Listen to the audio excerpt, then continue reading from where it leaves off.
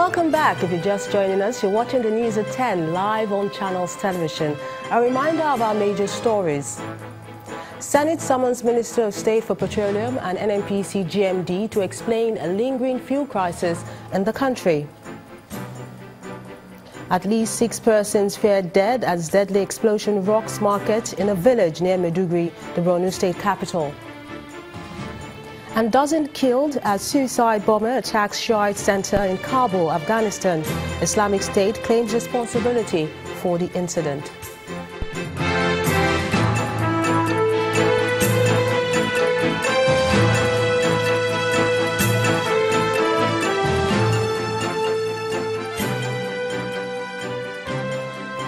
Top stories and others, please visit our website. It's channelstv.com and on youtube.com forward slash channelsweb. Log on to m.channelstv.com to watch us on your mobile device or download the Channels TV app for Android, iOS and Windows devices from their respective stores.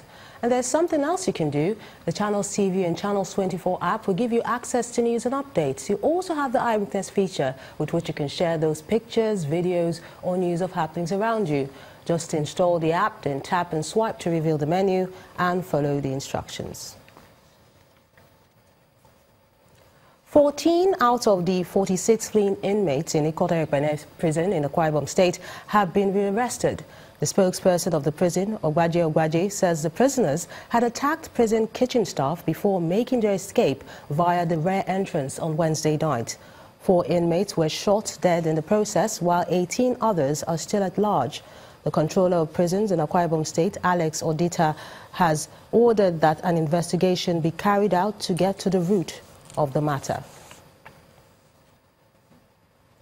And to security matters now in Borno State, a suicide bomber has blown himself up in a crowded market in Amarwa village near Maiduguri, the Borno State capital, killing at least six people and injuring 13 others. The incident comes days after a failed Boko Haram attack on Christmas Day in Maiduguri. Eyewitnesses say the bomber went to a shop holding a black plastic bag around 11.30 a.m., pretending to be a grain seller before setting off the explosive. Amarwa has suffered several Boko Haram attacks in the past eight years. Honorable Abdulmumin Jibrin is lamenting his suspension by the House of Representatives, saying his case has dragged too long in the court.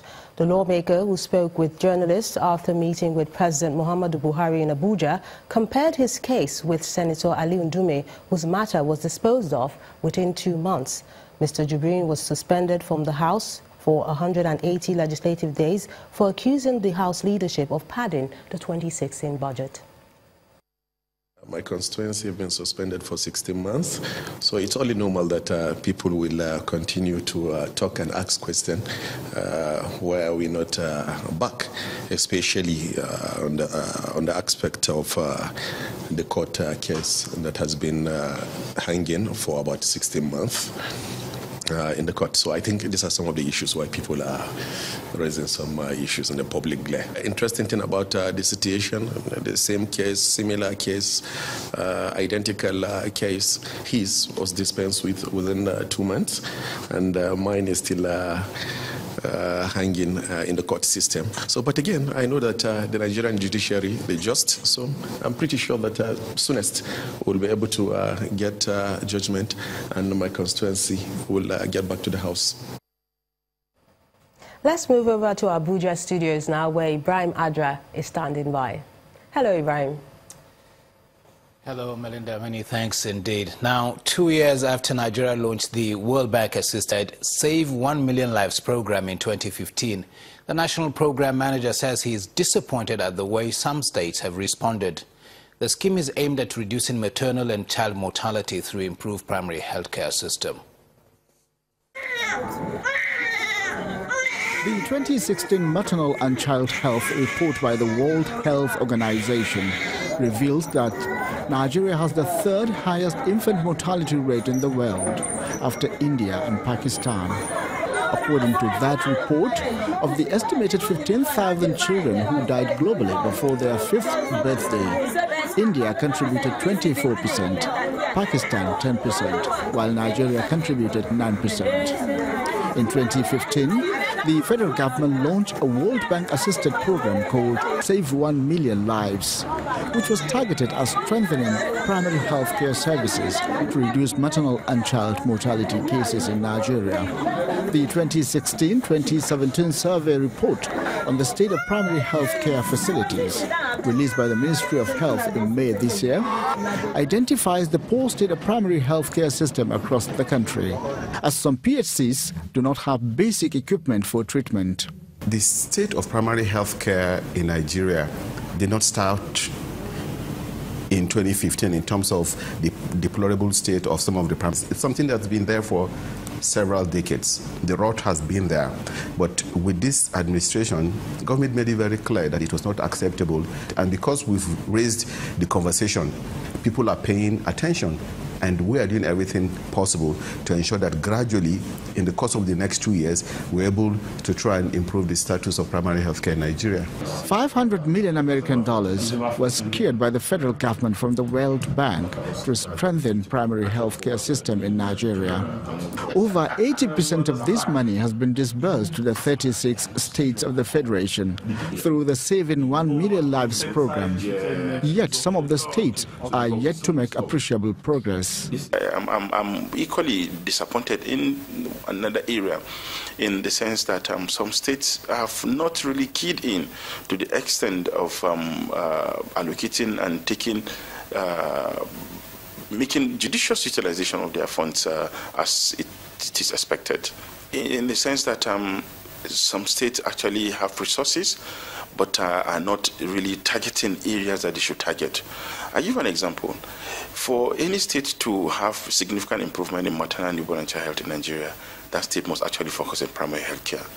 You know, if states continue to allocate 70 to 80 percent of our resources to tertiary, secondary and tertiary healthcare systems, certainly I can tell you that they will not achieve any significant improvement in healthcare. 10% of 15,000 global child deaths in 2016 is no doubt a huge national burden for Nigeria. Medical experts argue strongly that there is an urgent need for states to take full ownership of primary health care system and change the narratives once and for all. Now to Benue State, where more operatives have been deployed to communities in the state following threats allegedly issued by herdsmen to residents of Adimakpa in Otukpo local council area. Governor Samuel Ortom has also asked members of the public to be extra vigilant and help security agencies by supplying them information. He said his administration will not be distracted from fully implementing the anti-grazing bill. Government have put in place adequate machinery and strategy to contain this. Just give us the information. These ones we have had already. We have taken measures that way uh, surmount the challenge and the killings will not take place. But one important thing is that Benue State is united to ensure the implementation of the prohibition of open grazing in Benue State. And that will bring lasting solution.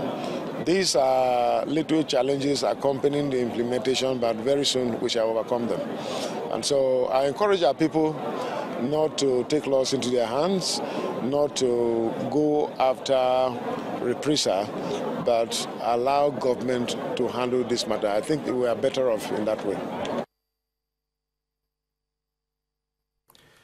Still on security, some suspected kidnappers who allegedly killed an expatriate working with the Dangote industry in Kogi State have been arrested by the police. The arrest follows a raid on the hideout of criminals in the state. The suspects allegedly committed various degrees of crimes, and some of them had been declared wanted by the police. Force Public Relations Officer Jimoh Moshood explains that the officers who carried out the operation acted on intelligence, while some of the suspects already confessed to the crimes they are charged for. And that's it from here. We rejoin Melinda in our Lagos studios. Good evening. Thank you so much, Ibrahim. As the year 2017 gives way to a new year, the governor of Ogun State, Ibikunle Amosun, is assuring residents that his government will provide better services in 2018. The governor is also asking for more support from other arms of government to achieve this set target. He mentioned this after signing the state's 2018 budget into law. Ogun State Governor Ibikunle Amosun signing into law the 2018 appropriation bill codenamed the Budget of Accelerated Development. The people of Ogun State Governor Amosun had presented the 345 billion naira appropriation bill to the State House of Assembly in November, with a total of 223.72 billion naira earmarked for capital expenditure and 121.69 billion naira appropriated for recurrent expenditure. We have come to present to Your Excellency uh, the clean copy of the bill uh, has been number 25 OG 2017. A bill for a law to authorize the issue and appropriation of the sum of 343 billion 983 million 962,106 naira only from the Consolidated Revenue Fund for the services of Ogun State Government of Nigeria for the financial year ending 31st day of December 2018 with an expected revenue target from both internally generated revenue and the Federation account. Governor Amosun is confident that citizens of the state will experience more dividends of good governance in the coming year. Let me assure you that uh, we will, on our part as the executive that have been saddled with the responsibility of executing this budget, we will do that. And we want to assure the good people of Ogun State that uh, they will continue to enjoy the benefits of having us in office. All the dividend of democracy, we will continue uh, to give it to them. And with this new budget, citizens of the state can only hope for better times ahead as the government promises to build on the good works which has started more than six years ago. A new set of Nigerians, about 157 of them trapped in Libya, have returned home. The returnees were received by officials of the National Emergency Management Agency, NEMA, at the cargo wing of the Murtala Muhammed International Airport in Lagos. 54 of them are women, 90 men, and there are about 13 children. Eight of the returnees are pregnant. One is in critical condition. The NEMA Southwest Zonal Coordinator, Mr. Sulaiman Yakubu, who received the returnees, assured them that the federal government will provide them with special incentives to begin their life again. When the News at 10 returns, just days to the end of 2017, more states of the Federation present their 2018 budget. That's on Business News. Join us again.